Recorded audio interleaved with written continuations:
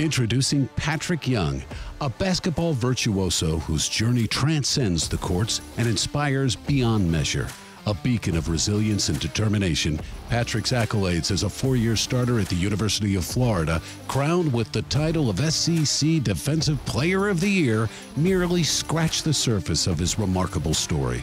From the dazzling lights of the NCAA Final Four to the pinnacle of the NBA and the EuroLeague, Patric soared to the highest echelons of basketball greatness. But on that fateful day, June 29, 2022, fate dealt a devastating blow.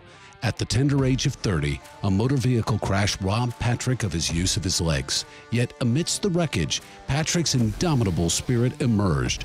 With unwavering resolve, he embraced the arduous journey of learning to walk again. We face those things. It forces us to get uncomfortable, to figure something out, and we grow from it. Today, Patric Young stands not just as a survivor, but as a beacon of hope and inspiration.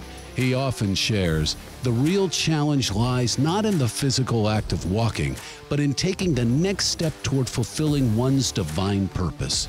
With a newfound gratitude for life, Patric embarks on a new chapter, channeling the same passion and tenacity that defined his basketball career. My story is not one of, hey, this happened, now I'm walking again, you can do it too. My story is, hey, this happened, I'm in the middle.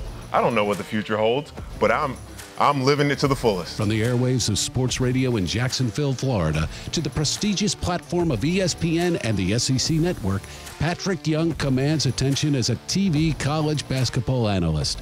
Yet his impact extends far beyond the realm of sports. As a motivational speaker, author, and philanthropist, he empowers audiences worldwide to live with an unwavering purpose and passion.